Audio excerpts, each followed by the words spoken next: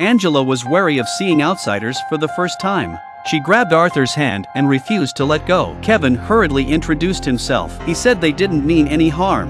Angela then let go of Arthur. They didn't know Angela was a demoness. The girl got dressed and ate out of date canned food. Apparently she had been asleep in the bathtub for a long time. Kevin thought the expired food was bad, so he ran back to the car to get fresh food for Angela. While he was calling the hospital, a monster flashed in the distance. Before Kevin knew it,